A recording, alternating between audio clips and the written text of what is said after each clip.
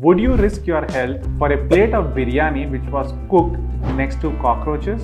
Over 4,500 food outlets were inspected in Hyderabad and many of them failed the basic hygiene checks. As a cancer surgeon, I always emphasize on prevention and it starts with what gets into your plate. GHMC has found several eateries in Hyderabad who have unhygienic kitchens, who are using substandard oil and raw meat, using spoiled vegetables in their refrigerators, and even lacking proper way of handling the food. Now, what does that mean for you?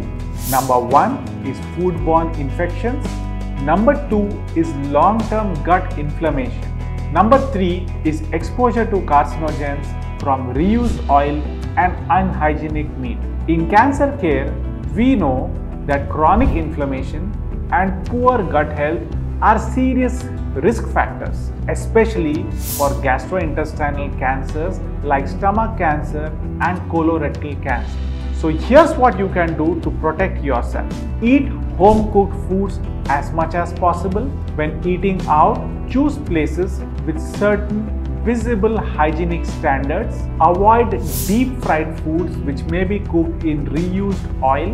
If meat smells off or looking old, avoid eating it. However tempting it may be, your immunity starts in your gut. And a clean diet isn't just about calories, it is also about eating healthy and conscious.